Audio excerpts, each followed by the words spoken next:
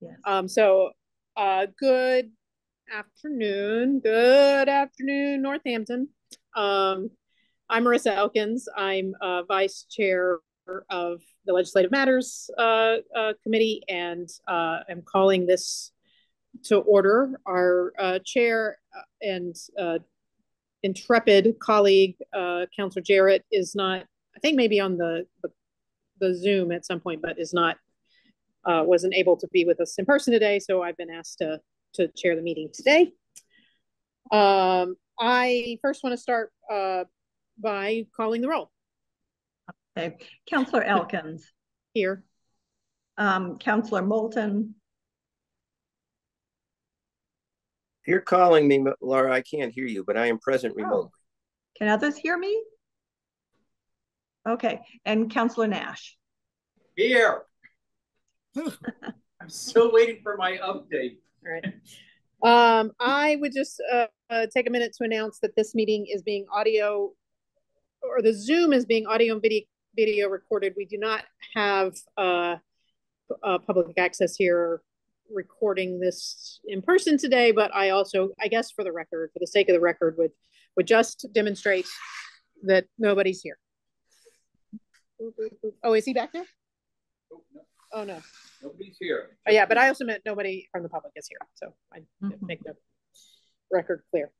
Um, we will start, uh, the next thing on the agenda is, uh, public comment. If anybody is, nobody is present in the room here, but if anybody is, uh, here to speak, uh, generally about public comment, anything not already on the agenda, uh, if you could raise your little zoomy hand. All right, seeing none, um, I will move on to the next item, uh, which is approval of the minutes, um, from the April tenth, twenty twenty-three. Geez, it's been a while since we met, uh, meeting. Um, do I hear a motion to approve those minutes? Uh, move to approve. Second, Jim has seconded. Uh, so if we could have a roll call, please. Councillor Elkins, Yes. Councillor Moulton. He's Still unable to hear me perhaps. Councillor Moulton? Yes, yes. Okay, and Councillor Yes. Nash. yes. Excellent. Those minutes are approved. Um, next is a public hearing, uh, community forum on, uh, on, uh, uh, legislation and the issue of adopting Massachusetts municipal opt-in specialized stretch code. Um, and we have, uh, a brief presentation by, uh, Climate Emergency Coalition member and personal hero Adele Franks. May I share my screen? Uh, yes, I think Laura has done that. Okay, I'm gonna try that. Hmm, well, it's for some reason not working. I don't know why. Hmm. Oh, eh, do you see this, the slides now? Yes, you're, you're sharing now. Okay. Uh, okay, well, um, thank you very much. Uh, my name is Adele Franks, and I am a uh, retired public health physician. But so therefore, I am not an energy code expert. Uh, but I've been following closely uh, the state's efforts to revise the uh, building codes. And I've been encouraging Northampton to adopt the specialized opt-in uh, stretch code. Whoops. Um, so I'm going to, I am going to uh, tell you about that. Um, first, I'd like to give a little bit of context. Back in 2021, the legislature passed an act called Driving Clean Energy and Offshore Wind. Uh, that was in 2021. Uh, it required a net zero building code, um, a stretch code. So Governor Baker objected to that and he vetoed the bill and he negotiated a compromise with the legislature such that the uh, quote net zero stretch code would be voluntary, not mandated. And then he asked his Department of Energy Resources to create such a code. And uh, DOER then developed over time uh, a new stretch code and a new opt-in specialized stretch code, which I've abbreviated OSS just for convenience, that municipalities could adopt, but would not be required to adopt. And the fact that neither of them was actually net zero um, is, uh, I guess, beside the point because I think the legislature got tired of arguing with the administration and just accepted it.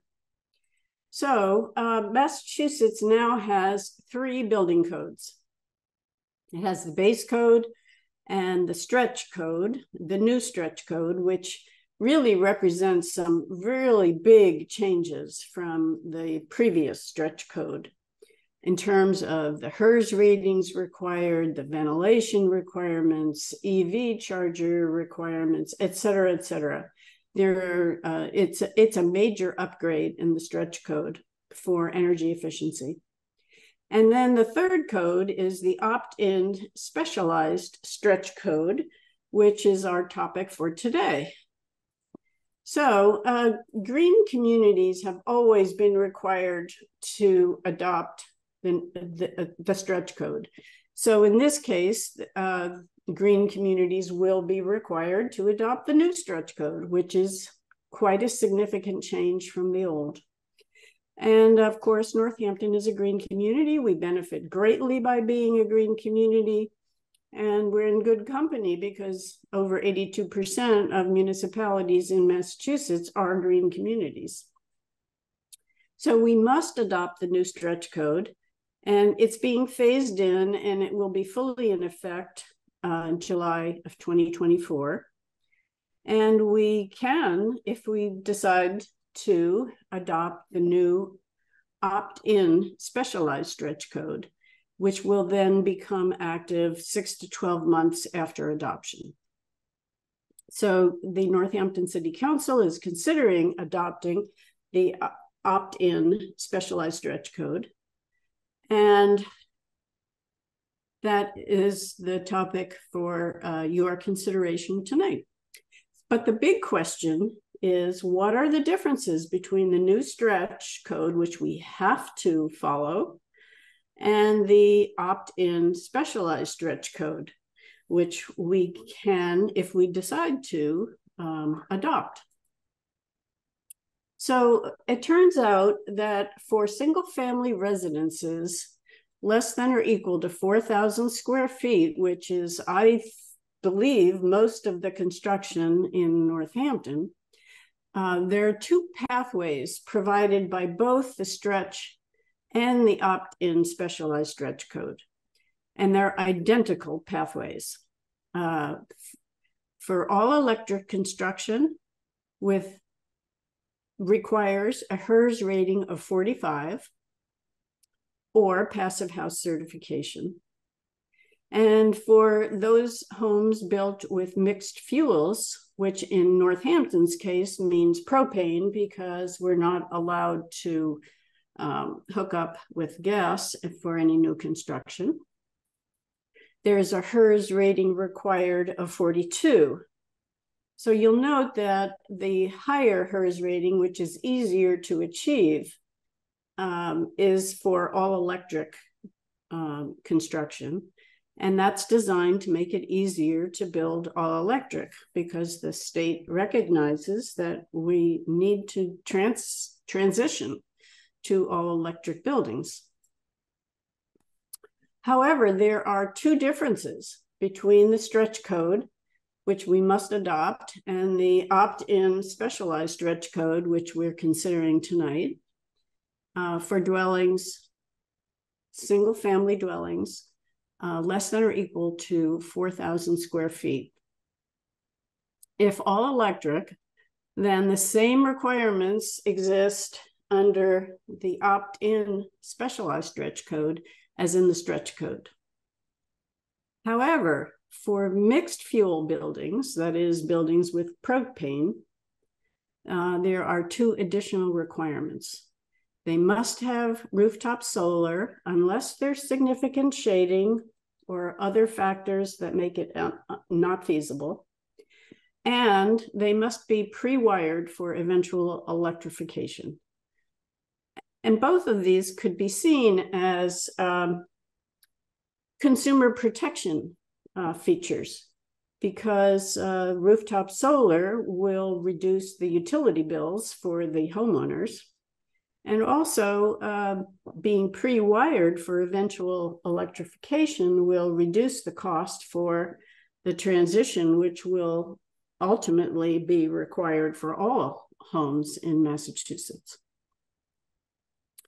And for multifamily construction, um, for those buildings that are 12,000 square feet, that are over 12,000 square feet under the opt-in specialized stretch code, they must meet such buildings must meet passive house standards and do pre-wiring for electrification if they're built with mixed fuels. So uh, how many communities are adopting this opt-in specialized stretch code so far? Uh, well, you can see here uh, those communities that have already adopted it, and they represent 18% uh, of the Massachusetts population. But you'll also note that they're all on the eastern side of the state.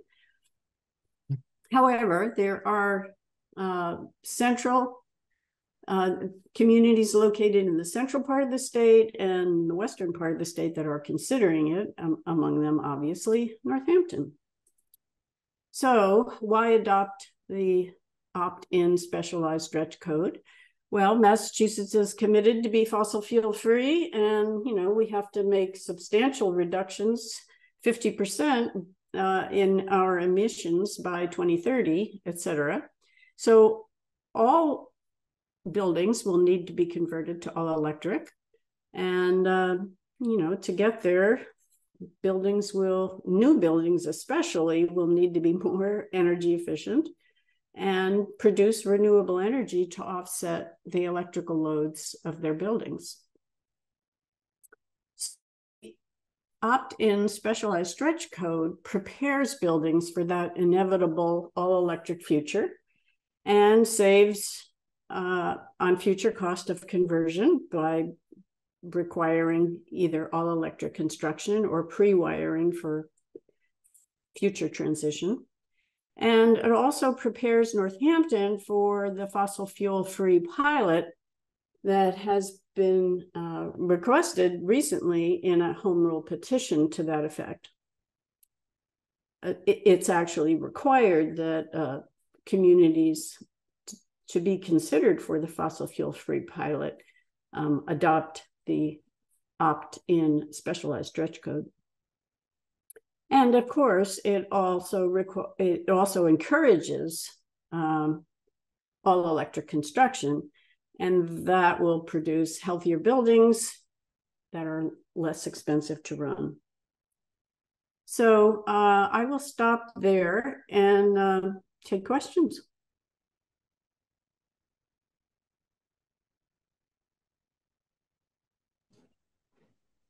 Um, can you use uh, stop, well, stop share? Yes, I will try to do that. Uh, I may be able to do it too. I just don't. uh, Or if Laura can turn it off, I don't know. let's see here. It says, oh, yeah, there we go. There we go. Okay. Um, so does anybody, let me ask, uh, is there anybody present um, on the Zoom, because nobody's here, uh, that has any questions right now for Adele? Yes. Uh, I can't Okay, find the raised hand. This is Johnny Scarborough. no, that's okay. Pipe, pipe right in. It's a casual vibe today. One of the questions I guess I have, um, I had an upgrade to my house just a few years ago, met the stretch goals, put in high efficiency boilers and everything like that. and I have a question as to, I was told I couldn't put solar on my house because of the trees that are out in front of my house, which are on city property, because I was told I had to have them cut down. And the solar company would not go ahead and go to the town and say, hey, we- If I could he wants to put solar on, but, but can't. You don't want to listen to this, do you? And and one of the things I guess I have a question on is if I have to in the future replace my current boiler, which basically I am gas, hot water heat, gas stove, only costs me $96 a month. My electric bill is very low. And I have, I'm just wondering, so what is my cost going to be? And I have to put in an EV outlet, which I'm not going to have. What are all these costs going to be to me? And is, am I going to be forced to go ahead and go all electric that I am currently gas? I don't know if anybody can answer that question or not, but that is my concern.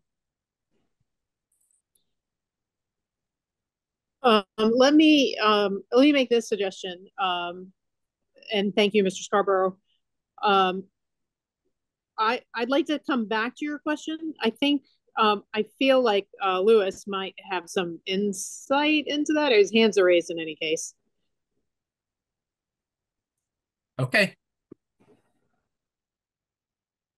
Can you, are you unmuted, Louis? Yes. Um, do you want to hear it now or do you want to wait until a bit? Um, well, I tell you what, um, I see that Eric has his uh, hand raised. Let me get to his question first, because in sort of response to Adele's um, presentation, and then we'll come back to you. And if you feel like you can answer Mr. Scarborough's or address Mr. Scarborough's question in the context of your remarks, um, I, I think that would be the cleanest way to do it. So, uh, Eric, Thank you. Um, thank you, Adele and, and everyone.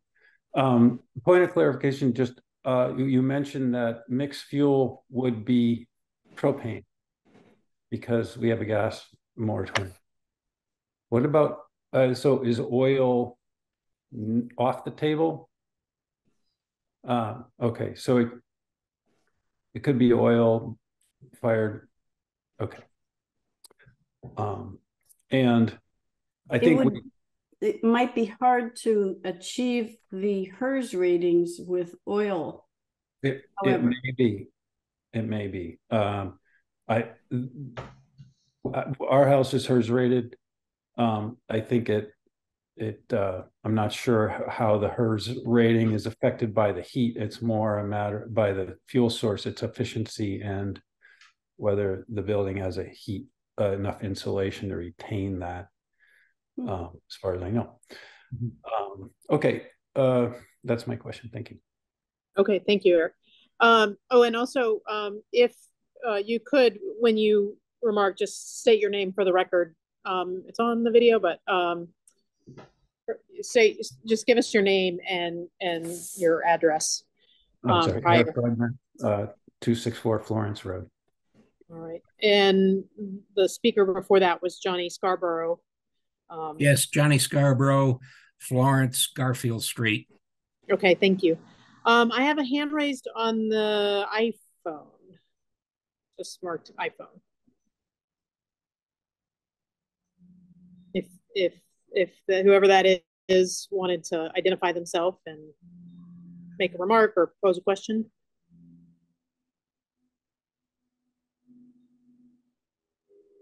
I saw a brief unmuting and muting. Okay, well, we'll, whoever you, whoever you are, will, um, you know, if you figure, if you, uh, sort out your, uh, your technical issues there, we'll, we'll come back to you. Um, so for right now though, um, why don't we go to Louis, who has some, who also has, um, some remarks and information for us. I'm not sure that I wasn't prepared to to uh, make a statement, but I I I hoped to answer questions. I do have a Oh, Uh, that's true. You, I'm sorry, I didn't mean to interrupt. no, It does no. say that you'll be present to field general building code questions and provide technical support. So I amend my uh, sort of introduction, Louis, to say, please take the floor to address what you can. Sure. So um, first thing to, that I'd like to say is that this energy code uh, changes are inevitable and that we are all going to deal with it in one way or another. And I support the idea of reducing uh, greenhouse gases, period, end of statement. The, um, I, that said, I think the, the current energy code is um, very, very, very complicated and beyond what a lot of contractors understand. Um, and without, I'm going to bash it a little bit, but I'm going to take the opportunity to say there's there's a phrase in the uh, one and two family residential energy code. Um, uh, enthal, enthalpy enthalpy recovery ratio. I have no idea what it is. I looked up that word and I still can't figure out how what they're addressing fits in. And as I go through the energy code, I'm spending a lot of time going back and forth. And the building code has traditionally been evolutionary. And this energy code, the building code itself has been evolutionary. And there have been some building code there have been some new additions that had more changes than others, but this is this is a pretty amazing change, and I think people are going to have a hard time coming to grips with it. Um, I know that a lot of the resistance that contractors um, are having is that they don't understand it. Um, the the energy code has given the responsibility for planning and design to a lot of people who um, aren't people we're used to dealing. We've been dealing with HERS raters for quite a while, and uh, you can't build a new house without having a HERS rater help you design the energy efficiency aspects of it. Well, they've added two more. Um, they've along with HERS raters, they've added two more um, uh, approval agencies um, and both have both have something to do with passive houses. It's not clear what the difference is. Um, so people are now going to go to people that they don't know and have things presented to, to them in, in language that they don't necessarily understand. That's my biggest issue with the new uh, stretch code. What I think is really important is going to be to find some kind of a public source of information about how to deal with the stretch code. Um, and whether it's through the DOER, and the, who are the people that uh, wrote the code, or through the Board of Building Regulations, um, who promulgate the code to find out what's happening. Um, and I don't want to go on a whole lot more because um, in some ways it's a transitional issue. Um, five years down the road, people will understand all this stuff, but right now they don't. And I think that's a lot of why there's a lot of resistance on the part of contractors and building officials too. Um, that all said, I put solar pan. I have I built a house in 2003. I put extra insulation in it. I put solar panels on the roof, and I went to air source heat pumps. Took out an oil fired heating system. Um, the thing that the thing that's um, and it's wonderful. It's a wonderful house. It's it is expensive. It costs more now than it did to heat. I, I my electric bill, even with the solar panels, is higher than it was um, before um, I put in the the um, significantly higher. And my energy costs are higher now than they were when I had oil heat. Um, and I worry that that's, um, and I spent a lot of money on the HVAC system and I spent a lot of money on the solar panels. And I worry that people who are less affluent are going to really struggle with it. Um, but again, it's necessary. It's necessary that we figure out how to how to cut down on greenhouse gases. And we're if you could build to the code to the current stretch code. Well, I don't. I say current. We're in the the um, one and two family stretch code first first version. As soon as we go to the opt-in, it'll tighten up. Um, if we build to those standards, um, we'll have efficient houses, but they'll be expensive, and they'll be expensive to live in, and I'm that concerns me. Um, the um, I do have um, I wish that we'd put in a upper limit on size of houses. Um, I mean, one thing is a four thousand square foot one or two family house is going to, you know, reminds me of back in the day when um, the automobile emissions first came out and people measured parts per million of tailpipe emissions. Um, and the reality was it should have been parts per mile. You had a big old Buick that put out a lot of exhaust. It might not have had a lot of parts per million of, of emissions, but there were a lot of parts coming out. A small car might have had more parts per million, but it didn't use as much energy driving a mile down the road. So I think at some point we're going to come to that concept, which is that it's the total cost of energy to live in a house as opposed to the total cost of energy of a house per square foot. So I'd, I'd encourage um, some kind of zoning that in, that, and we have a little to some degree we have it in Northampton to to encourage small houses and potentially even to restrict large houses.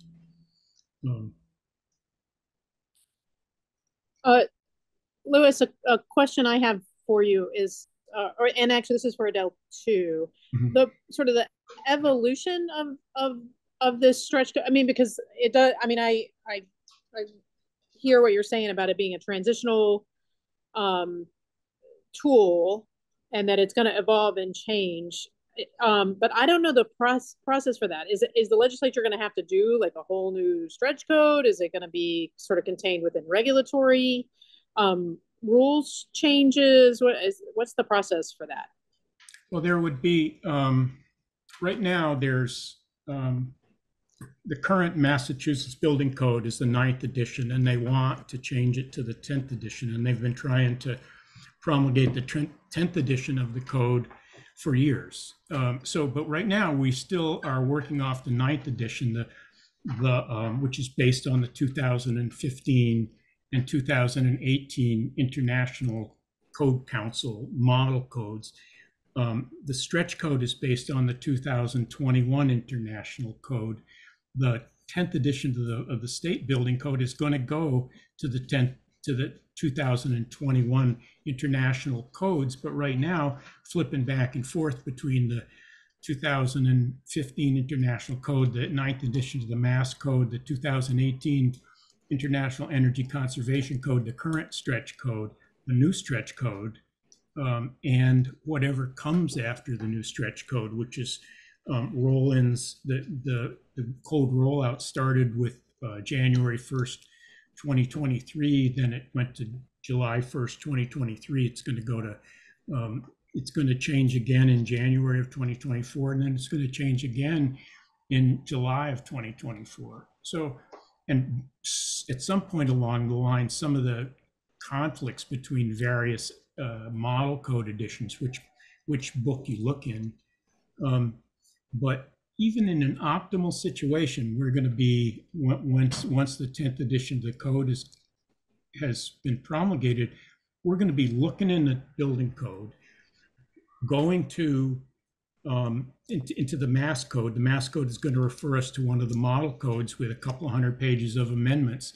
And then the mass code is the international code and the stretch code is going to um, direct us to the to the energy conservation code, and plus the the DOER various versions of stretch codes. Um, and we're going to spend time administratively sorting out the conflicts in these various codes. I mean, there's there's a lot of conflicts, direct um, in, direct contradictions in the codes, and they'll get those. I mean, they'll get them administratively.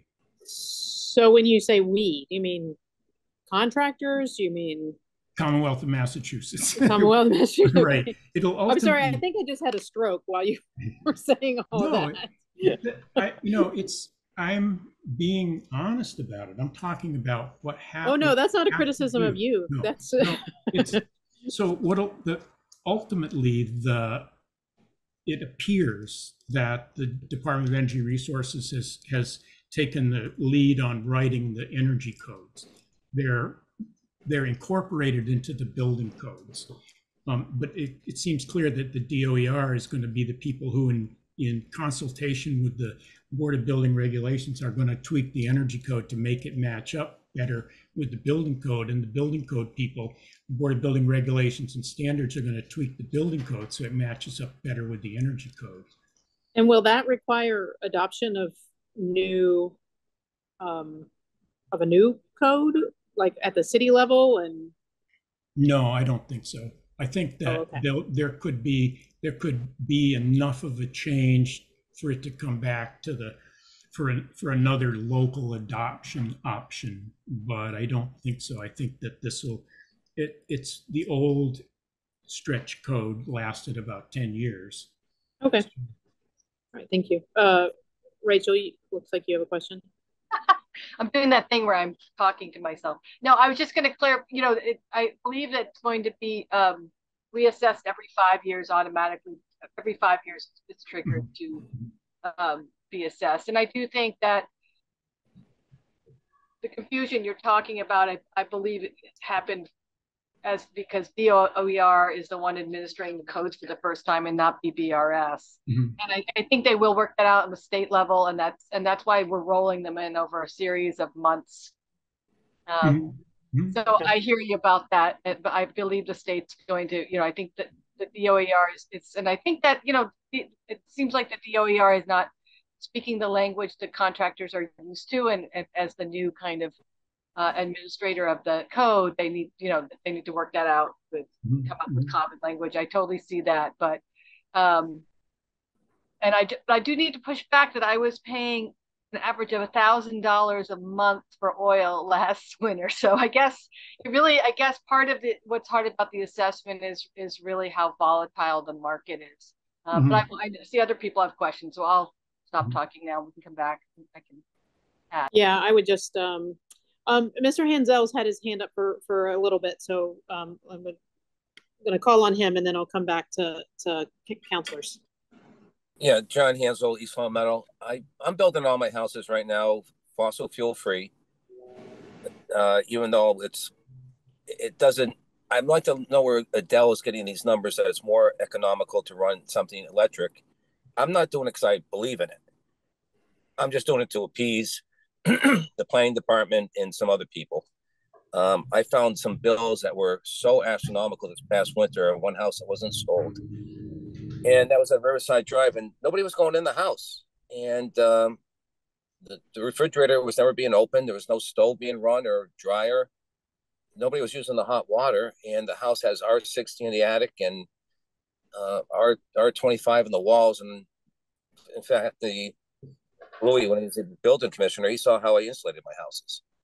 And I'm trying to get how do you people wrap this around that it's more economical to go electric? I, I'm not following this, and if somebody can answer it, I'd really appreciate it. Hey, uh, John, just if, uh, and if you come back and speak again, would you, we, all we can see is like the bottom half of your face. There you go. I was We sitting in my truck. get to I, see I- I your- was on. I was on the smartphone, but I was driving a 91, so I couldn't connect for some reason. But um, I apologize. No, we we get we don't get to see your face very often, so it's always you know might as well take advantage now. Um, would uh, either with the um, a sponsor or Adele or anybody want to speak to that? Rachel. Yes, and I, I just before I forget, um, I would it would be great if Johnny would clarify his question because I'm not sure if he was talking about a renovation. I wasn't clear about those terms, but that's for that question. For this, why it's why it's cheaper is because we have these carbon goals we must meet. And so pre-electrifying, doing it, you know, not having to retrofit is going to be cheaper. So it's definitely less expensive if we're going to, you know, um, if we're going to decarbonize, we need to decarbonize buildings. And so that's And that's why, you know, the writing is on the wall with this.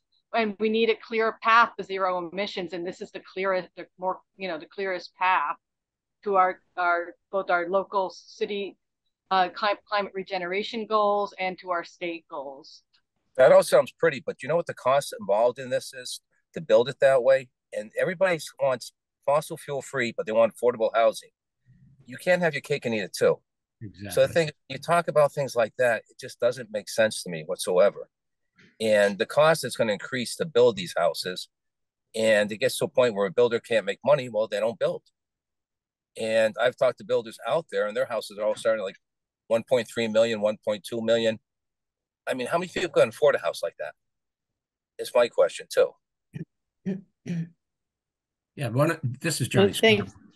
Excuse me. Uh, sorry, actually, um, Johnny, I'm sorry. Uh, if I could, there's a few few people that have had their hands raised for a I minute. So I can't find the spot that it gets to raise the hand.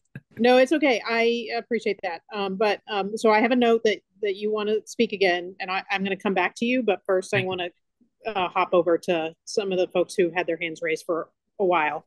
Um, I uh, between the councilors, I think I saw Councilor Labarge um, as as being the first to. So, Marianne. Oh, you're muted. Sorry about that. Um, okay. But I think Mark Patillo has been trying. It looks like he wants to talk, and I think he might be on the phone because he keeps bringing his name up. I don't. I don't see the iPhone person anymore. Huh. Okay. The iPhone person was me when I was driving. Oh, okay. That was me. So. John, John Hansel's iPad. I always know that guy. okay. Uh, I want to. I want to make sure that the public speaks, and then I'll speak after them. Okay, th that's fine. I'll I'll come back to you to you, Marion. Um, um, I will come back to John. Your hand is still up. Do you want to? I'm not. I'm not coming back to you yet. But are you still looking to speak again? Okay. Um. Uh, Stan, you, your hand is not up any longer. Yeah, yeah. I, I just wanted to ask Louis a, a follow up about. He began his remarks, Louis, by saying that the current decode is is complicated beyond what most builders understand. You're referring to the basic code, the stretch code, or the opt-in stretch code? Um, they, actually, the, it's shifted enough so that all three of them, the energy code, the new energy code uh, comes out of, uh, was written by the Department of Energy Resources. And they, it's more complicated than the old code and it uses a lot of terminology that people aren't familiar with.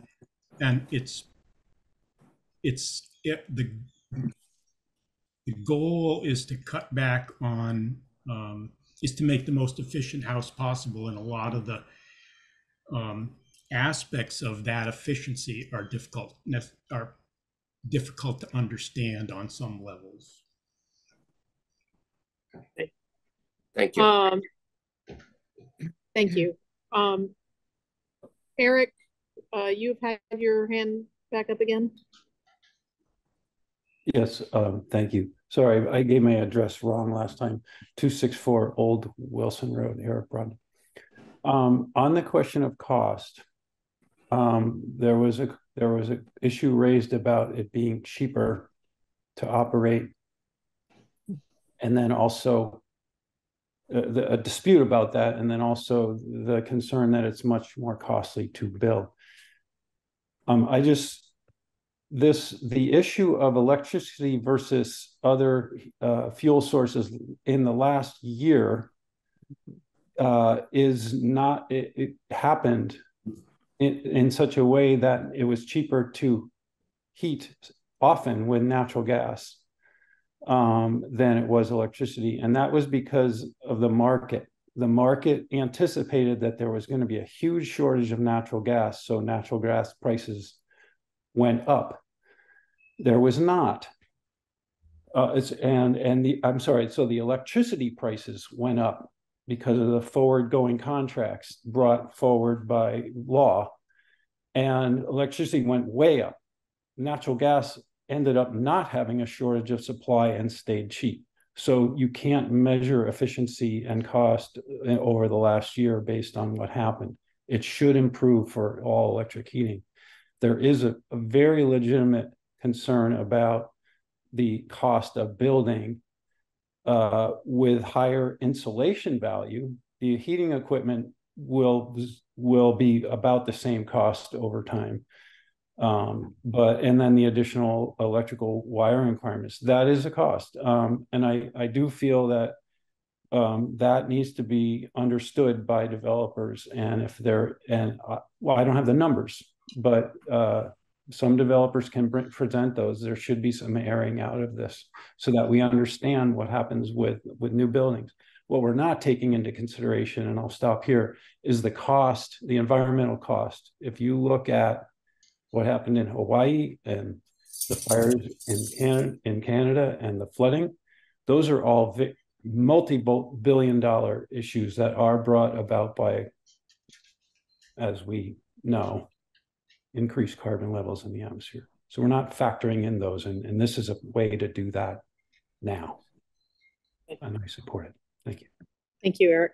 Um, Adele, if you can hold for just one minute, I'm going to do one more round to make sure uh, to hear if Mr. Scarborough wants to talk and if there's anybody else, and then I will hear from you and then see if we can't round round home on this. Um, Mr. Scarborough, do you, was there something else you wanted to say? Yes. Um, in regards to the building codes, when I had my house uh, renovated here, it was upgraded to the stretch codes that were at that time about eight years ago, which is our uh, 30 something upstairs. It's 16 inches of insulation, six inch wall construction, etc. Now, I have friends down in Florida, all electric houses. Their square footage is maybe 400 feet less than my house here. They're running their air conditioner for just last month and everything. Now, all electric, everything. $65 a month electric bill. So, up here to try to run a house at that, I mean, even in my house, which I have all LED lighting, as I said, I have gas my electric bill runs $90 to $125 a month. You know, I look at that cost and I understand the builders. They're going to have to put a lot more into it. It's going to cost a lot more for the house. I don't know how people will be able to continue to live here. I'm on a fixed income. I just do not understand. And I look at the cost of the electric here, and it is far more than a lot of other areas. But that's where I, I have a big concern because I just don't see how people are going to be able to stay here with the current cost. Uh, thank you, Mr. Uh, uh, thank you, Mr. Scarborough. Um, I see uh, very quickly, I see that the mayor, who is a, a co-sponsor, co-sponsor, right, of this, um, is here. Uh, mayor, is there anything you would like to add to the discussion?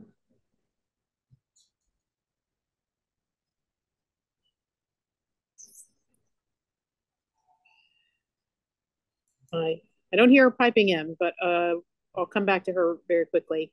Um, uh, Mr. Hansel, one one last brief comment, and if we can, and and then I want to round circle the bases with the councilors and and the mayor. I'm going to keep it real simple. How many of you councilors have ever built a house? How many of you councilors even know what goes into building a house? I don't think any of you. Nor does Adele, but she has all the facts and figures that she thinks she knows. I disagree with her. I read the one the home builders did with MIT. Totally different result. So the thing is, I have a bunch of people telling me what to do and how I'm supposed to build a house who've never done it. It doesn't make sense to me. Thank you. Thank you. Um, I would like Um, to address the cost issue. Uh, yeah, Adele, I was gonna call on you next before I went back to the councilors to close up the discussion. So um, I, I, I would certainly uh, be happy to um, provide the studies, including the recent home builders funded study, uh, which shows that in fact it's cheaper to build electric, all electric homes. Um, and the, the home builders uh, uh, funded study was um, picked up by the, um, well, picked up by the newspapers with very misleading headlines. And uh, they have since clarified their uh, point of view and what and their findings. And in fact, what they found is that the uh, the reason that um, the cost of building homes has gone so high is because of supply chain problems, because supplies are more expensive. It really has nothing to do with the actual construction being all electric versus mixed fuel or fossil fuels or whatever. So, um, so I would be happy to provide those references, and um, um, I guess I'll leave it there. Thank you. Thank you, Adele. Um, Councilor Labarge. Thank you, Councilor. Um, number one, I want to say we built our house many, many years ago from scratch. It was all electric. We were paying three times more for electricity versus us converting to oil 10 years ago. 10 years ago. My question is, and I'm hearing from other people, and I just heard it again at this meeting. Are people being forced to do this? And that's a big question here. Are our residents in the city being forced to do this? I'm very uncomfortable with this.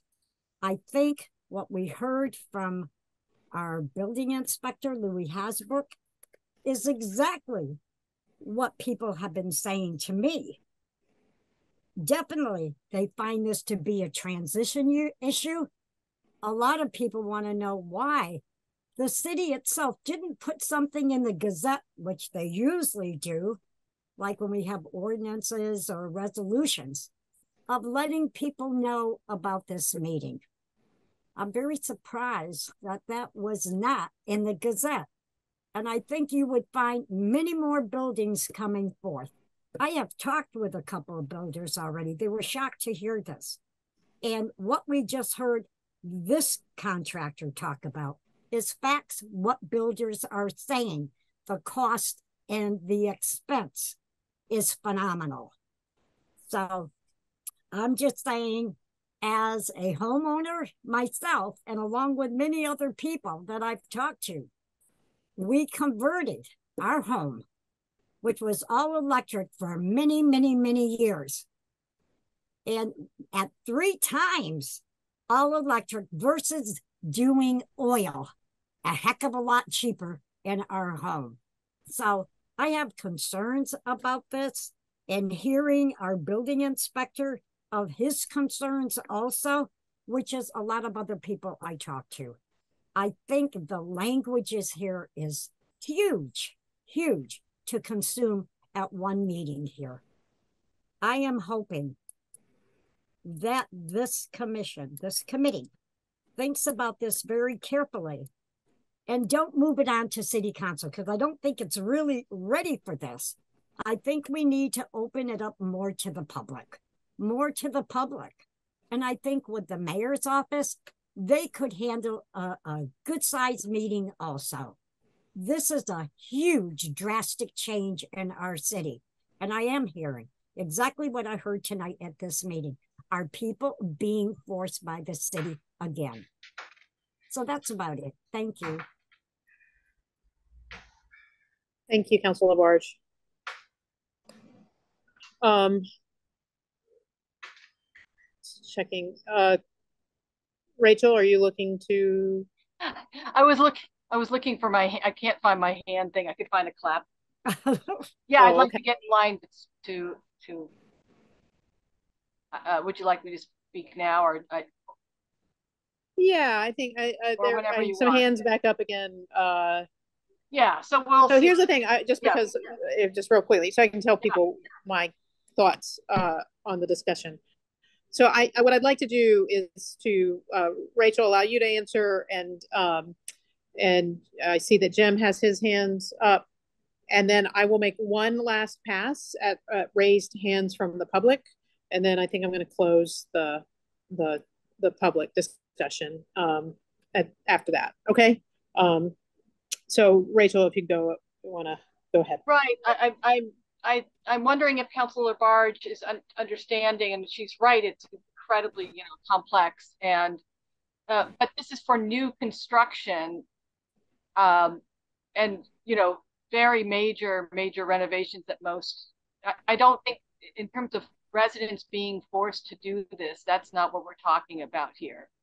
That's not, that's not what we're talking about. We're talking about new construction.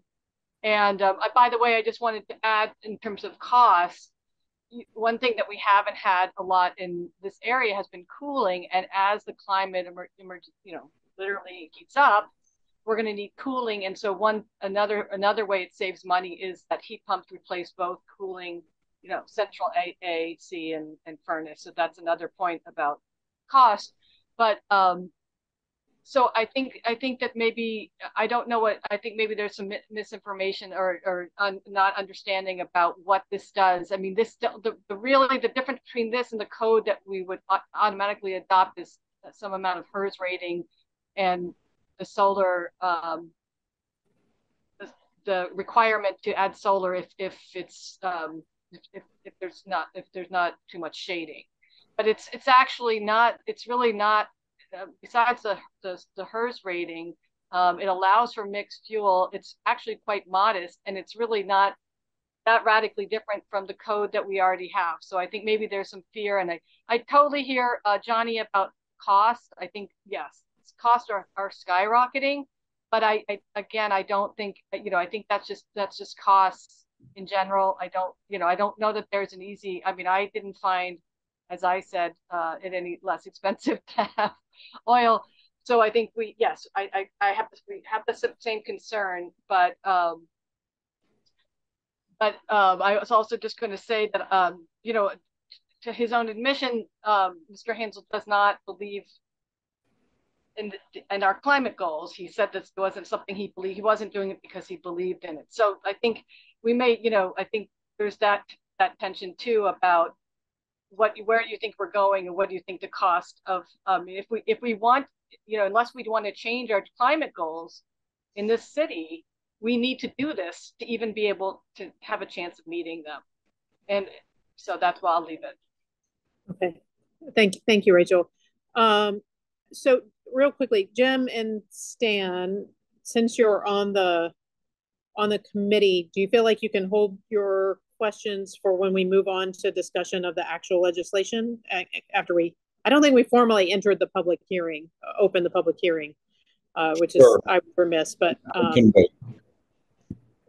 Well, I, Stan, I, um, Marissa, I'd just like to, to ask a clarifying question in response to Council Labarge's suggestion that that perhaps uh, wider publication of this, uh, wider notification of this topic uh, would be desirable. I, I agree that it's a huge, huge change, and, and there's a lot of, or there should be a lot of public interest in it. I know that we originally had thought we might take this up at the July meeting of legislative matters, but that was uh, insufficient time to notify the public about this. I'm just wondering, Marissa, whether you could address that, or perhaps Laura, Laura our administrative assistant, could talk about how this meeting was um, well sized. Um, I, I will, I will say that the sort of discussions about where, when it landed on the agenda and and so forth were uh,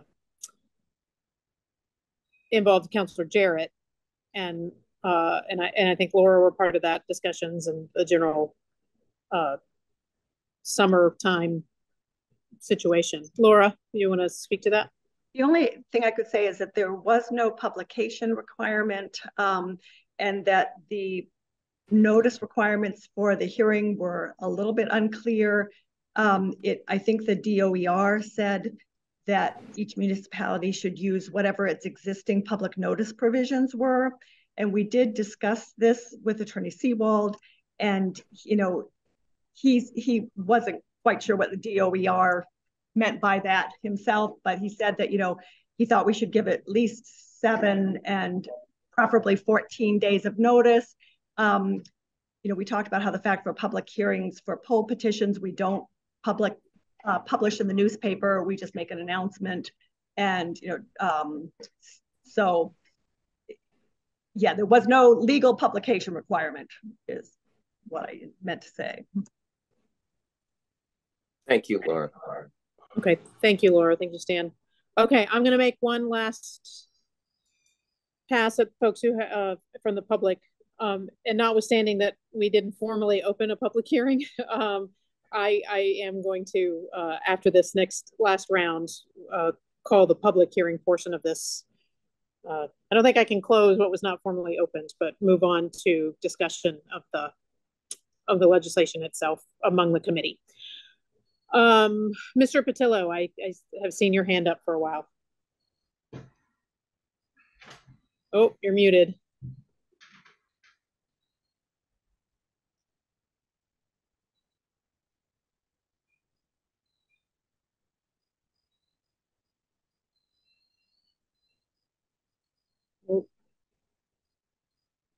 Hmm. Hello. Yep, there you are. Hello. Hi. Um, my name's Anthony Patillo. Uh, my son's name is Mark. Um, I live at Autumn Drive in Florence. Um, I retired from the city of Northampton as building commissioner in 2010. And what I'm hearing from contractors and from locals are they want to know what they're up against. And when the stretch code first came into effect, one of the issues was how is it going to be enforced? What were the requirements? There were prescriptive packages. The contractors want to do the right thing.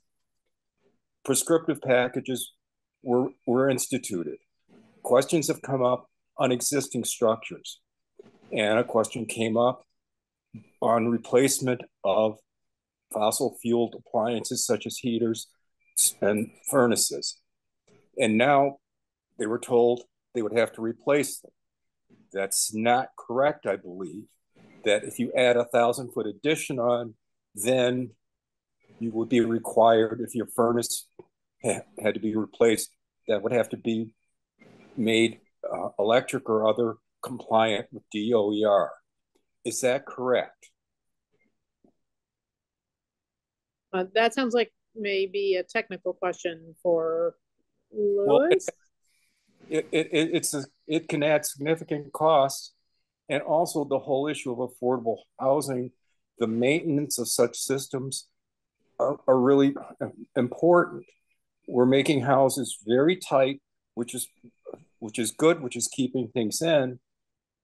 But if you have a power failure and you have no air circulation because your heat exchanger isn't working you can be producing more issues the expression the hell to road the road to hell is paved with good intentions.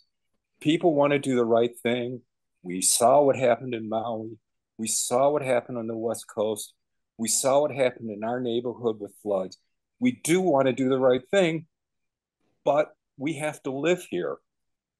So the better we understand what we're up against the clearer we understand what we up up against the better we are there's a lot of agencies that are still fighting out what those technicalities have to be in the minutia, in the weeds. And they're looking at amendments, but they're also looking at the public to be the guinea pig. And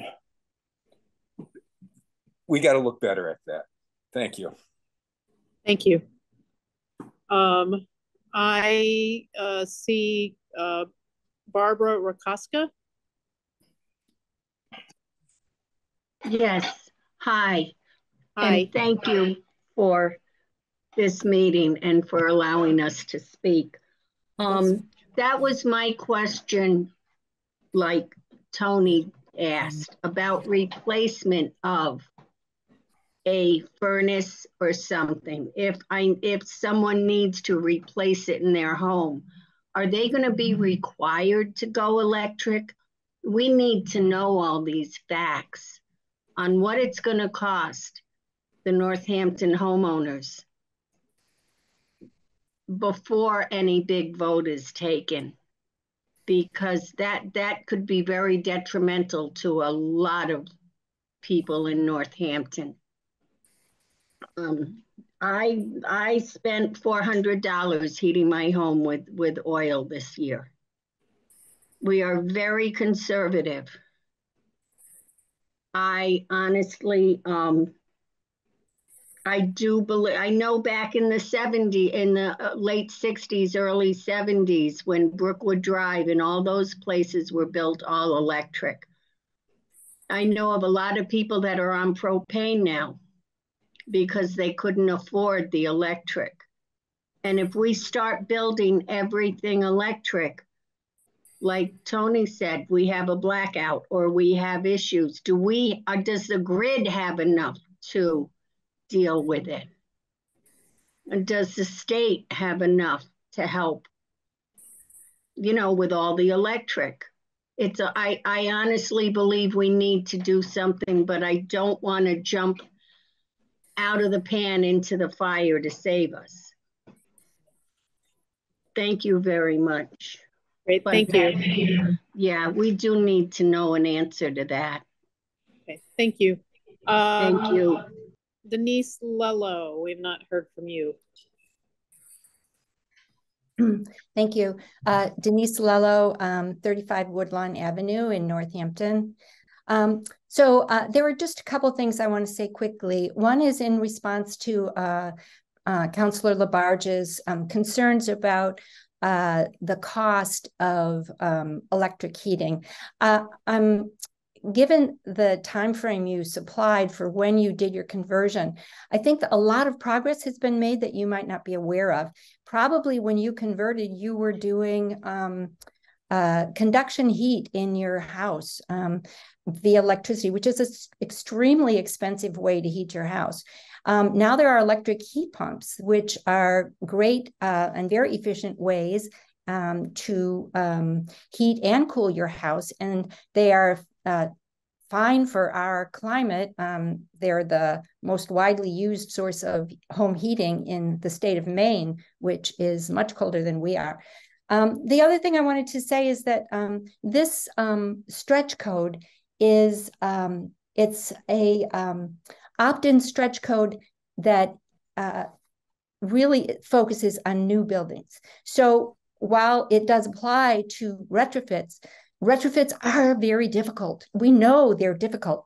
That's why we need to adopt this stretch code for new development. Because if we keep building our old type of building that we have to then retrofit, we are going to be faced with much fewer co- higher costs than if we start now to um, electrify all our new buildings. This isn't something weird for Northampton. The city of Boston has adopted this. Many communities in Eastern Massachusetts have adopted this. And they're larger cities and they have many more building issues than we do. So I really encourage people to be thoughtful and think about really um, uh, what we're doing for the future of Northampton here by taking this really small step of adopting this opt-in specialized code that will keep us um, um, sort of uh, abreast of what we've been doing up until now. We have been part of the um, stretch codes up till now, and there's no reason for us to step back from our attempts to address climate issues. Thank you. Thank you, Denise. Um, uh, I'm going, this is the order to finish things up. Well, first of all, Miss Barbara, are you, is your hand still up because you want to speak again or because you? Because I'm looking on how to get rid of it. So I, Okay. I, All okay, right. but All right, I will thank make you. note of it and, and Mhm, proceed no. Uh, I'm going to make the last, last calls for public portions, uh, in this order, uh, Mr. Hansel, Louis, and then Adele. So, uh, John, Okay, I'm not trying to be argumentary. Yeah, I did say I don't believe in it because most electricity right now is made out of natural gas. I know we have hopes and dreams. It's all going to be made from the sun. But right now, and the infrastructure we have throughout this whole country is pathetic. The whole country is just a, it's a mess. And it really can't handle it all. And you can't change this overnight. It's got to be a slow process. And yeah, I do believe it in the long run, but you just can't do it overnight. And um, like I said, I'm not trying to be argumentary, but it's challenging for me when I listen to this because there's also things which Adele doesn't understand. When you increase the energy code, it's also on the building, not the electric. It's not the one that said much more to it's a cost of in it. And if you can afford the solar, well, you know, God bless you. That's another 30, 40 grand. I just did it uh, on a house in Federal Street, cost me about 35 grand. Um, but I could afford it. So the point is, it's it's great for people that can afford it. Um, and like I said, in the long haul, it's going to be, it will work, but it's going to be a slow process. It's not a light switch you can just turn on or off. It's going to take time. Thank you. thank you. Uh, Louis, Sure. Um, first of all, um, I, I opened my comments by saying this is necessary, and I believe it's necessary. I don't think we have an option. I take issue with the way it's um, with the code itself that we're working with, and it's going to take some time to sort it out. But um, we need to do something. I believe there. I, I do believe that as as written, the code is so complicated that it's a lot of people can't grasp it. Um, and in terms of cost, um, to um, hook on to what Eric said about the cost, the cost of um, um, greenhouse gases is huge. And you know what the effect of greenhouse gases has on the environment is huge. But I don't think it's fair to say that um, those costs are that that that because I don't think it's fair to say that the energy that a that an all electric home is less expensive, um, and at the same time say that it's more expensive, but the costs are um, worth spending. I, I really feel like we need to be more straightforward about it. And um, something that Tony picked uh, mentioned is that a prescriptive package. I mean, if what if there was a what if why didn't the energy code people say if you do x y z a b c and then d e and f you'll be set. People didn't have to figure things out. People didn't have to go through a whole bunch of um, machinations to get um, passive house certified. They just built a house. This is how you build it. This is the insulation you put in. This is the this is the heating system you put in.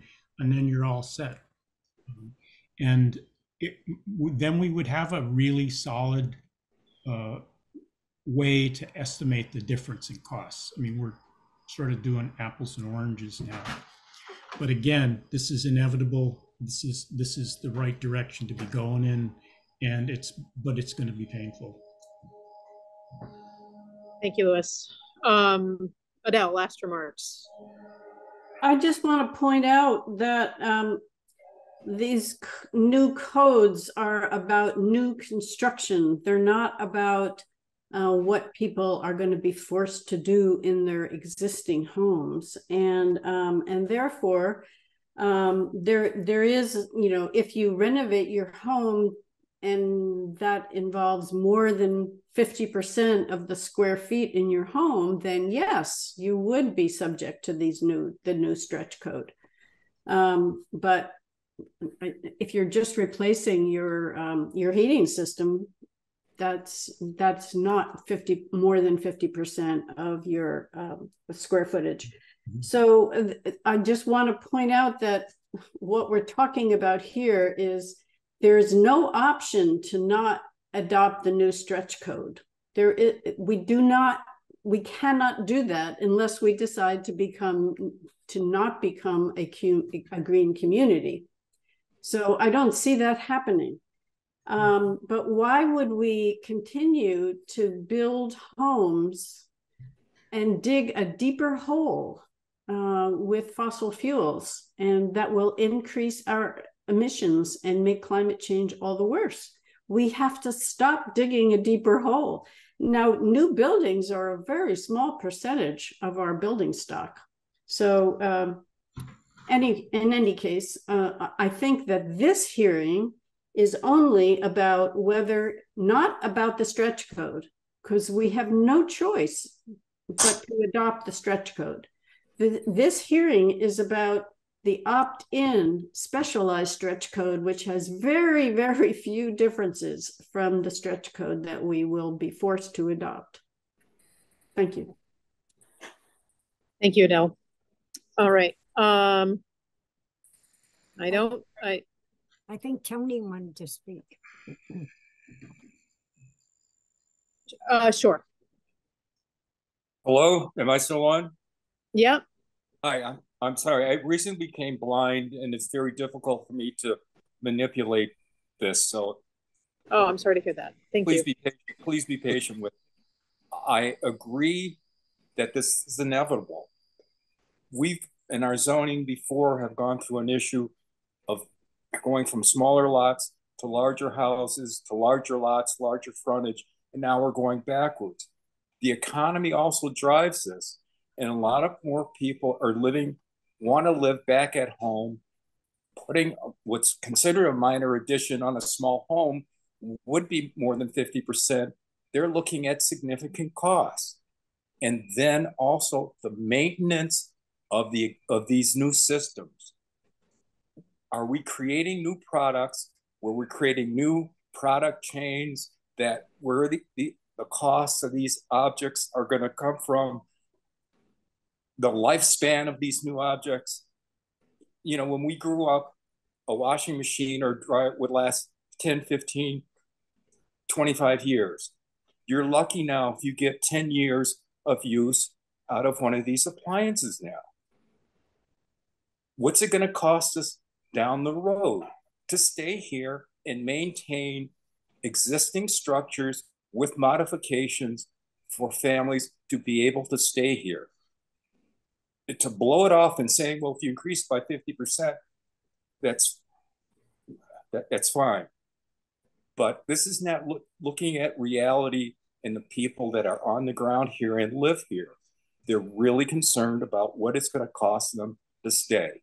And all I ask is that that be clearer.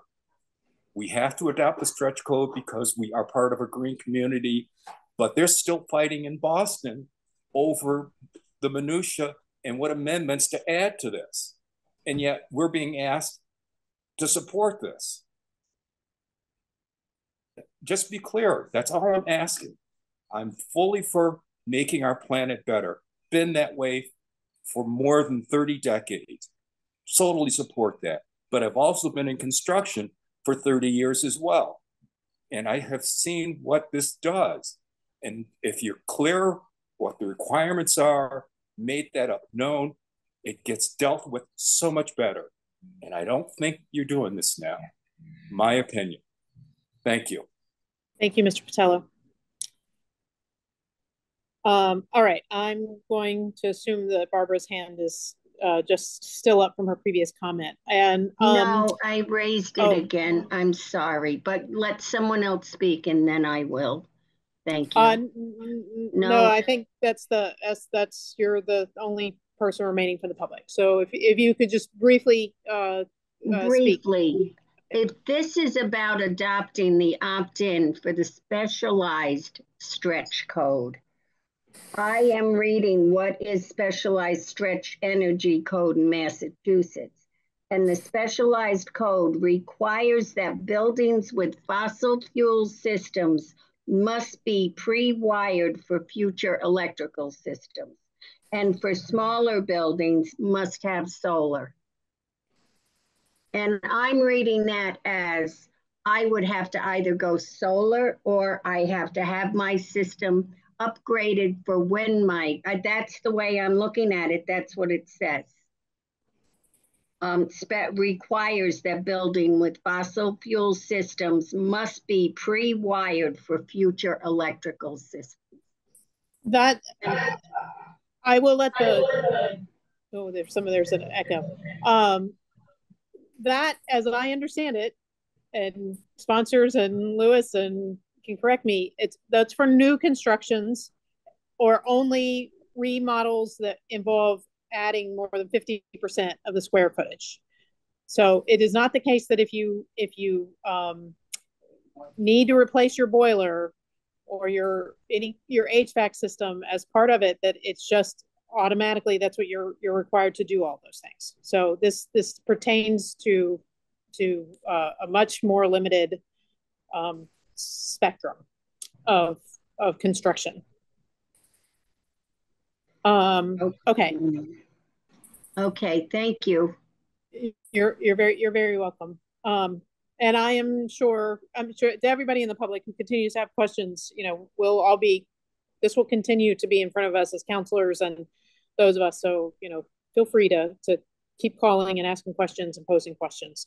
Um, again, I didn't open a public hearing, so I can't close one, uh, but I am going to move on and um, to um, to the uh, the next agenda item. Um, apologies for my uh, apologies for my lack of uh, uh, Robert's rules uh, issues uh, here, but uh, I'm going to move on to the actual legislation and ask, um, and ask if we, if I, any of the members of the committee um, would like to make a um, motion.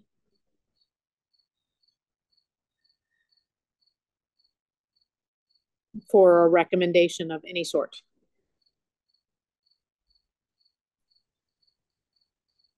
Jim? Can't hear you. He's muted. and but he's not muted. Is it Jim? Jim, he's out in the hallway because of the echo. So he's he's get maybe I could get a motion from somebody in the room whose whose uh microphone works. I can't. No. I can't Anybody? hear a word he's saying. Uh, yo, hang on just a second. I'm gonna go tell Jim. Nobody can. Oh God. Now, right now.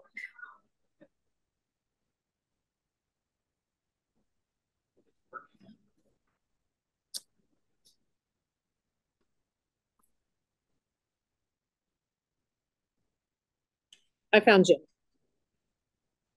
Hello, councilors. Hello. Let's turn this off so you don't see the back of my head. Okay. Okay. So um, I just have a bunch of uh, a few questions uh, for Adele and Louie. Okay. So first of all, um, just so I have it clear, the there's there's the base stretch code which is in effect right now, um, and then coming down the fight the the pike is a, another level of the stretch code, and that's due to start, I believe, next July, if I have that right. And then we have the opportunity to opt in on an even higher level of that stretch code that's actually going to be coming down the pike, whether we like it or not next year. Do I do I have that right? Uh, no, I'm not quite. Okay. Um, my understanding. That's why I'm that- asking Adele. Well, I'm glad you asked because I think that probably everybody is confused. Um, and I apologize for not making it clearer. Uh, but the, the the new stretch code is being phased in, and perhaps uh, Louis can clarify what part of it is in effect or what part is not. But in any case, it, it is supposed to be fully effective July of 2024 and it's currently being phased in. And we have the opportunity to um, opt in to the specialized stretch code, which which uh, has only two additional provisions, which is to uh, wire, pre-wire for future electrification only in new construction, and um, and and for solar panels on the roof if there's if it's feasible to have solar on the roof. Again, that's new construction only. So um, uh, I, whether the opt-in specialized stretch code will become part of a future stretch code that will be mandatory, I don't know the answer to that, but I think it's very likely that someday that will happen. But in the meantime, it's not mandatory. We can opt into it. Is that so clear? really what's so really what's up for discussion is whether or not we are going to opt into this extra version of the stretch code where where new construction will need to be required to have all electric hookup hookup. To be pre-wired yes. So that otherwise the rest of it is already coming our way. That's exactly right. Thank you. Okay and so, and what we're voting on is whether or not we're going to start enforcing those codes earlier than 2024. No, no, it's just no, for the only voting. What's been uh, given to your committee is the question of whether the city council should be encouraged to opt in to the new specialized stretch code. Okay, so we're the, now I've got it, Adele. so it's really the vote is all about whether or not we're going to do this all electric requirement. It's um, it's not required to go all electric in new construction. There is a mixed fuel option with a with a um, with. Oh, i I'm sorry. I I want to. I'll stop you there because it's okay. the all electric hookup. That's it's, the only difference. It's, for example, um, there would have to be sufficient electrical panel to support an electric house. And then there would have to be an appropriate outlet by each fossil fuel appliance that would support an electrical appliance instead. That's it. Okay. No, I so um and I, th- I think we've answered the question about it, it would apply to additions that are 50% the size of the current structure. Mm-hmm. And that would trigger in where somebody would have to adhere to these building codes. But there's also, uh, it, there are also local exemptions allowed. And so somebody could apply for an exemption if they didn't want to do it, and if they had a good enough reason, then the the uh, city council could devise a process and uh, go ahead and approve it. Okay, and then one last thing too, uh, Mr. Patillo was raising the the what what I heard was what we're doing to educate tradespeople. And Adele, you may not know the answer to this, and uh, maybe Louis does, or um, it does seem to be that um, that could be something that we could be working on as we, if we do adopt this, is to educate people as to, you know, what the new code is. And, and would, it's a huge need statewide and Mass Save is actually uh, aware of it and is supposedly developing some programs to train contractors. Um, well, if, maybe if we could help out with that, that uh, we're just talking to the we. You and I don't have control over this. Uh, uh, so, which brings me to one last question, uh, which has to do with who is developing the new codes. These are coming down the pike from folks this is coming to us from the state. And and Adele, years ago, I know we we as uh, councilors were voting with the I think it's called the ICC, you know, around regulations and stuff. The the folks who ha- are recommending these new codes are are not just city councilors. They're not city councilors like me. They're actually engineers and, and folks who've been studying construction, correct? Well, it was DOER that uh, created these particular new, the new stretch code and the opt-in specialized stretch code. They had a very very long process, and they certainly included um, a lot of energy experts and engineers.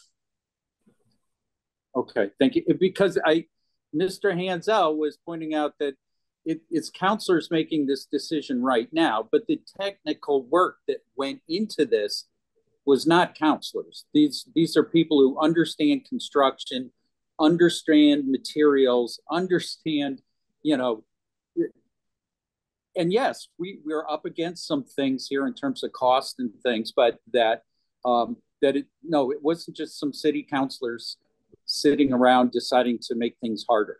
And um, so, oh, it's Louis' hand is raised. Um, You're the chair. Go ahead. thanks, thanks. Uh, Thank you. I'm I'm I'm done. okay. Um, Louis had his hand up. I think Louis wanted. To... Uh, sure. Couple of couple of quick things. First of all, existing houses. There, it's it's it's equal to the an addition equal either a thousand square feet or as large as the house, hundred percent. Um, it's renovations, fifty percent of the house that starts to trigger. But but basically, there's there's very very little impact on an existing house and, or an existing furnace or an existing stove or an existing water heater, at least at this point. So I, I think it could be take some comfort from that. Um, but I would take I, I would take issue with uh, the building code and the codes up until now re- relating to buildings um, have been written by the Board of Building Regulations and Standards, and they've um, used the International Code Council model codes to base their codes on. Um, Department of Energy Resources aren't contractors they're energy specialists. And one of the things that a lot of people are not real happy about is that a lot of aspects of the energy code don't necessarily take into account some of the uh, niceties of the building code. And they're coming from different places. Again, and I can't say it enough times, we need to do this. This is something, this is a direction that we need to go in. It doesn't mean that it's going to be easy or pleasant. Um, and but I do think it's going to shake out. I think that within a few years, a lot of the uh, people will be used to it. A lot of a lot of the issues will be changed. I'll stop now.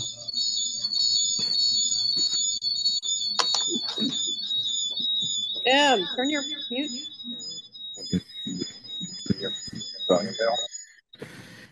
Okay. Uh, thank you, Louis. I don't know where the echo is coming from. Um, okay. I don't know where the echo is coming from. Okay, if I could have a motion. Is everybody else getting that? Deb. Uh, yes, I'm getting That's that. bad. I think I blame Jim. He left the room, but there's still the echo.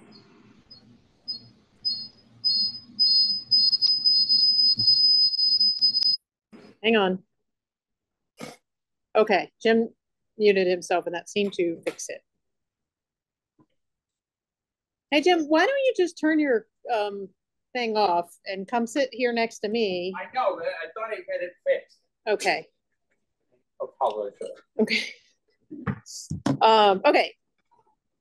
Thank, thank you, everybody. Uh, Stan, I'm maybe hopeful you're have a motion. I know you're hopeful about that, but I'm not ready to make a motion. Uh, I have I have several things I want to say. Um, uh, I, I've listened to everybody, and I think everybody has made important and valid points. Uh, one of the words I've heard is inevitable. Uh, it is inevitable. Uh, we have uh, climate goals uh, for uh, uh, for zero carbon emissions that match the states by 2050. We're 27 years away from that. We have to, uh, with new construction, we have to think about how we're going to uh, reduce and eliminate fossil fuels. So this this concept, uh, this opt-in stretch code that uh, requires uh, pre-wiring for electricity is what is needed right now. Um, there is it is complicated and it is confusing and it uh, it, it it requires education.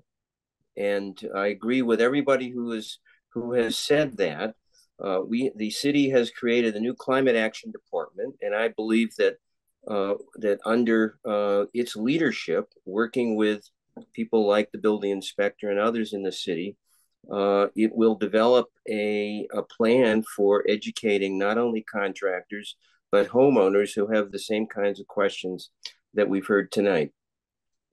I'm also concerned about uh, affordable affordability, and I've seen the uh, uh, I've seen the homeowners, uh, home builders, and remodelers association report that estimates uh, this would add uh, one, two to four percent to the cost of a, of a new house. I've seen other uh, I've seen other studies. The Rocky Mountain Institute, for example, did a study across the country of nine cities, including Boston, which concluded that uh, all electric single family new construction more economical to build and operate than a home with glass uh, gas appliances and lower lifetime emissions. And I think that the the key thing is to look at the life of, of the home. There will be some additional upfront costs, uh, but I think over the life of an all electric home, uh, those costs uh, will be less than heating with with uh, with fossil fuel. Also, there are incentives uh, through Mass Save. Uh, the Healey administration last or in June uh, uh, announced a new Massachusetts Community Climate Bank, which is getting 50 million from the Department of Environmental Protection uh, with a focus on affordable housing. So again, that's education about available incentives and subsidies uh, for uh, for uh, new construction that will help to keep it affordable. I, I am sympathetic to the to the to the concern that, that Councilor LaBarge raised uh, earlier, though, that here we are in the middle of the summer, uh, middle of August, uh, uh and I, I, and I'm not sure.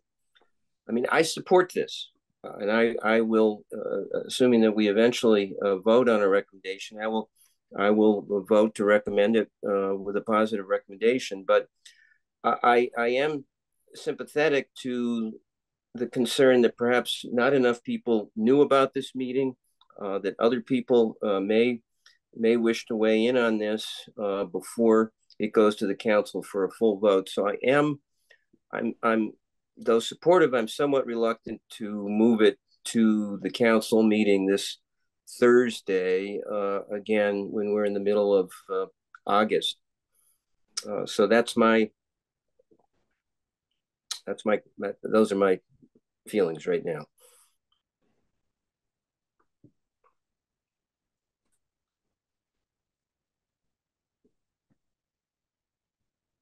Uh, yes, Councillor Nash. Don't turn your microphone on. Do no, I'm looking at, yeah, so um, I would like to make a motion that we send this to council with a positive recommendation uh, that um, I'm, I'm satisfied with all of the work that's gone on by uh, NESC and by um, the uh, the building department and by um, uh, the, the, city around making sure that th this is the right way to go. Um, the uh, the the only thing that I um, I'm wondering about is you know did we get the word out? Um, I you know I um, I, I, know that Laura and I did a lot of back and forth around this, and we we reaching out to um, uh, Attorney Seewald around what exactly we should do. Should we post this in the paper? Should we do all sorts of stuff like that? Uh, the flyer was developed, and um, that um, I you know I'm not sure how many people uh, learned about it. Uh, so um, but I, I would like to see this go back to council with a positive recommendation. Um, I, you know, as the council president, I could um, do it uh, with the provision that we not put it on the meeting agenda for this Thursday uh, and rather uh, put it on the agenda for September 9th. Um, and that would give people a little more time to uh, to weigh in on it. We wouldn't be voting on it in the middle of summer, and that. Um, uh, but I, would be open to that suggestion, uh, but I I don't see um, a reason to um, hold this up to get more feedback. So um, that's my thought. Uh, uh, I'll sec I'll second that with the provision that it be on the September 9th agenda rather than um, or no, uh, wouldn't it be the September 2nd agenda, uh, President Nash? It's September 7th. 7th and the 21st for September for city council. 7th. 7th. Yeah, the, the second is my birthday. So on the 7th. so the meeting will be on the 7th. No, the, with the, it's that's yes. already in schedule. Yes, yes, I would. So I, I, I, I second the motion with that provision. Okay. Okay. Um, uh, it seems like everybody on the committee has uh, made remarks, um, except for me. I just want to add a couple of, of thoughts on this. Um, I um, I am in support of this uh, uh, this legislation. It is consistent with the with the resolution that I already was uh, co-sponsor with with uh, Rachel, um, and feel like this is the necessary thing to to move it along. Um, I I do, one thing I do agree with to some extent with Mr. Hansel and some of the other folks who raised the raised the point is that I I don't believe that arguments about cost or efficiency or savings are ever going to win the day. It's too variable. It's the whole building process is too subject to many to many different variables that make it impossible to pin uh, down what is going to be less expensive in the future or more expensive now and things like that. What I and so I so I can't disagree with that. I think given depending on how things are constructed. And if we're building great big single family houses houses that are you know that our zoning allows at this point in time um, that those energy costs and cost to build may well be very expensive. Um, and i you know I, I don't i credit the sources that adele cited um, on those points but for but for me that's not the issue. Um, and and and i say this as i think i hope everyone listening and who has seen my record and and work I've done on council knows is that I'm very committed to housing and housing at every level of the market and and and doing everything that we can do within our to to to to leverage our zoning laws um, to begin to encourage smaller buildings and multifamilies and uh, infill development and I stand by that very firmly. Um, the fact of the matter is is our planet is dying we are all boiling. We're literally baking on this planet, and we don't have time, and our children don't have time for us to. I sorry, I almost said a curse word, but we don't have time to mess around with this. And and I say that with great sympathy and and and as as as that everything that I can do as a counselor within that to address our housing needs um, I am committed to doing, but we we cannot. Uh, we it's not a matter of being guinea pigs for this building code. It is a matter of being guinea pigs for what this climate change does to our planet and our city and our literal existence in the human race. I not to get too existential about it, but um, I so I can appreciate that these, you know, if if this were an ideal world, we it would be a slow process and we'd work out the kinks and there would be time, but there's just not time. Um, regarding whether or not the word has gotten out, I would say that between the resolution uh, that was previously passed, between agenda items that were publicly announced on the NESC um, committee, which is also pub- subject to public meeting, this meeting, and then of course there's going to be another opportunity. I'm very comfortable that we've had we've had not only public meetings about relevant legislation and discussions relevant to that, also um, as unanimously, council and our mayor ran on these climate goals and this agenda. Um, and so that we've had robust public discussion within the political sphere about this. So I um, am very, very comfortable. Um, I'm very comfortable voting for this. It's uh, and um, I, I, I want builders to keep building. We and and other ways that we can do to facilitate that. But but um, I, we're not going to meet our goals otherwise. And it, it's not. These aren't aspirational goals that we want to feel good about. These are aspirational goals. These are goals that our literal lives depend on. Is how I feel about it. So, uh, okay that being said, um, if there are no other remarks from the committee, um, I would call for a vote. Councillor Moulton. Yes. Councillor Nash. Yes. And Councillor Elkins. Yes. All right, so that will go to City Council and it'll be on the agenda for not at the next meeting, but September 7th um, with a positive recommendation. Um, and and I do want to thank everybody who did come and everybody with, with such great expertise, uh, speaking to their expertise and their and their uh, knowledge. Um, and I also, I know I'm talking more than this to say. I, I do want to say that we all, um, I feel very strongly that those of us who live here and work here, there's just broad consensus about this as a priority, and there's going to be disagreement in the details. Um, but I'm glad we're working through them. So um, there you go. Um, I think that's it for today. And I understand that my burrito at Veracruzana is ready. So motion to adjourn.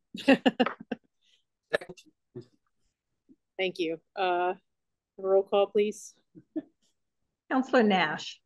Yes. Councillor Elkins. Yes. And Councillor Moulton. Yes, yes. Great, thank you.